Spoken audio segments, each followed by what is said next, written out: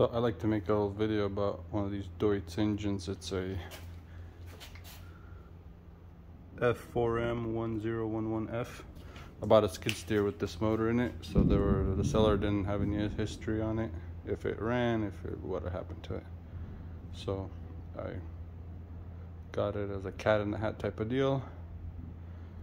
So I've seen a lot of videos going over little bits and pieces of what could be this and that. So here I just like go over the whole overview of what I learned. It's quite an interesting little diesel engine with the timing belt, which makes it really funky to figure out when it's not running. So when if you buy an engine like this or a machine that you have no history on it, the seller doesn't know what happened or what's going on. First thing is pull the valve cover off and check how many bent rods you got and if you have any broken rockers most likely the belt broke on this machine, bent the push rods and the rocker arms got broken. And then they reinstalled a new belt and it never started again by the looks of it. All right, the trick is because it's a timing belt machine, this, well, this pulley is not indexed or keyed to the camshaft at all. So once you loosen this bolt here, this pulley will free spin on the camshaft with no index position.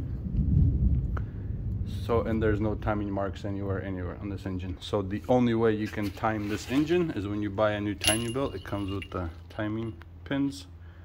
So they're exactly the same. The crank and the cam timing pin is the same.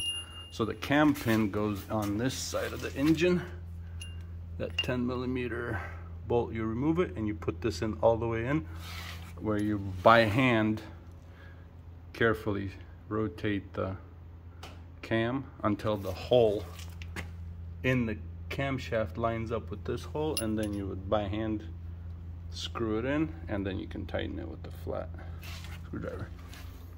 And then to time the crank you have to manually put the crank in the top dead center of the first cylinder and then you have a 10 millimeter bolt you remove and you put the pin in and then you would turn the engine clockwise gentle so you would find the top dead center go counterclockwise maybe an eighth of a turn put the pin in and then rotate the crank until you bump against the pin.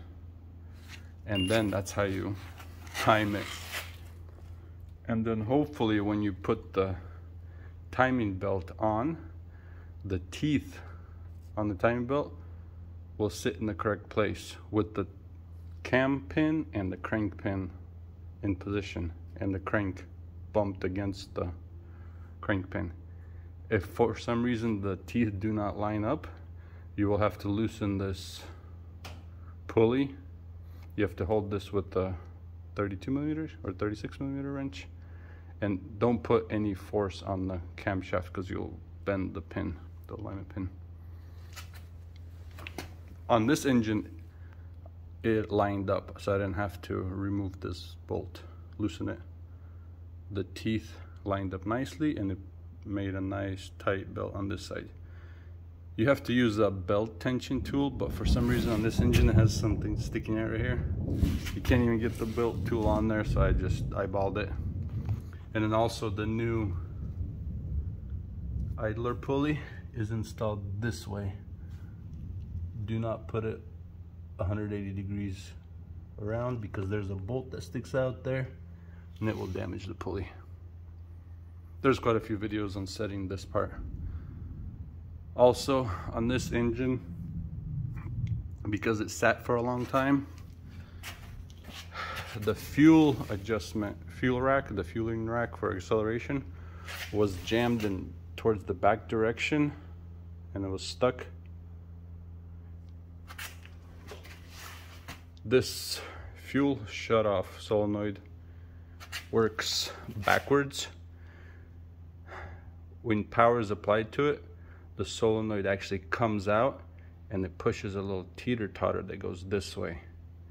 So when it's in no power applied, right now the fuel rack is pushed all the way towards the back of the engine and that shuts off the fuel.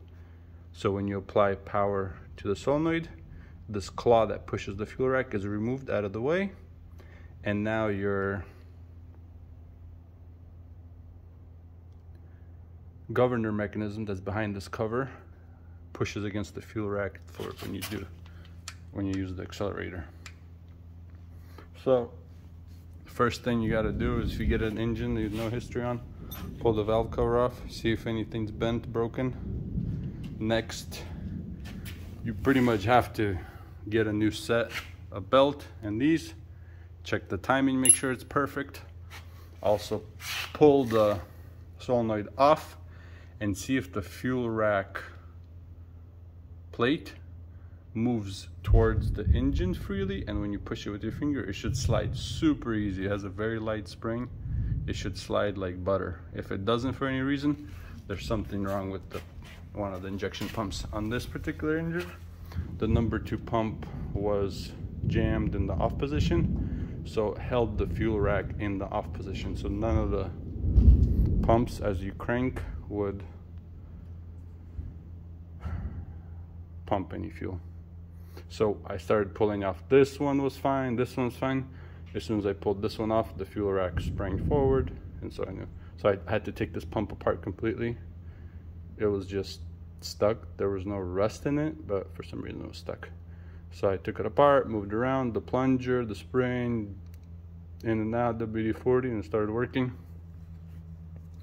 So then I reassembled it. Also, there's a procedure for reassembling. There's a few pages about it online. So if you search for fuel injection pump removal installation, there's a little trick to that also. But um, reassembled it. This is my little syringe for uh, to see how much fuel it's pulling in and if it's actually pulling it in. And reassembled it. And then to prime this engine, what I did is I took the exhaust valves and turn the lash adjustment screw in enough to where it held the exhaust valve open a tiny bit. Just it maybe like a 16th of an inch or an eighth. It's not enough for the piston to hit it but it keeps the valve open to where the starter will crank the engine much faster.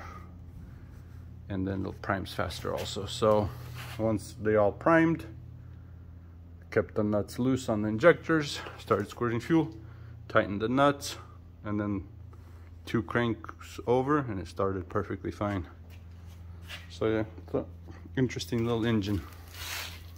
Once you know what you're doing, makes life a lot easier, but I've been at it for probably a couple weeks trying to figure out how to get this thing started. So basically overview, most important thing is pull the valve cover off, make sure everything looks good there absolute must. Just buy a new timing belt with these. Check make sure the timing is perfectly on. If it's not you got to put it where it has to be. If it's not exactly where it is it'll never start. Also pull the solenoid off and that's a good reason good time to check. When you pull it off put power 12 volts to it. Make sure the little claw moves this way when power is applied. And then also with your finger in there push against the fuel rod rack, make sure all the way towards the back of the engine is fuel shut off. That's engine off. It springs out when you're starting the engine. There's a light spring that keeps it full throttle. As soon as it starts, the governor takes over and pushes the rack towards the back of the engine to maintain the whatever idle speed is set, wherever the set screw is for that.